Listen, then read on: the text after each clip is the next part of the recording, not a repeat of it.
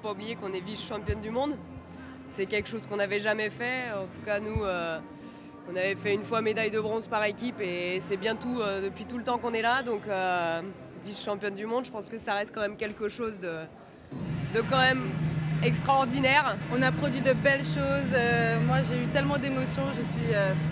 Il n'y a pas de mots, quoi. Je suis super, super fière de nous. saison où à chaque compétition on est monté sur le podium, troisième place, deuxième place, vice-championne d'Europe. Et voilà, On a gagné aussi. et on a gagné à Shanghai. Et, et voilà, et aujourd'hui on a, on a été dans la continuité de la saison et on a été le chercher, mais avec nos tripes quoi.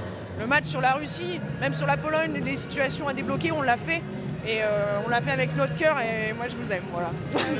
Ben moi, euh, le match contre la Russie, euh, j'encourageais les filles, j'étais à fond avec, avec elles.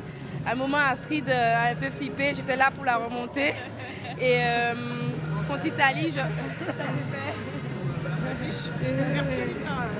Elle balance, elle balance. Si tu peux éviter de lui poser des questions à l'avenir, ça m'arrange. Et euh, contre l'Italie, je suis rentrée, mais je suis passée à côté du match. euh, mais bon, je revenais plus, sur- plus forte l'année prochaine.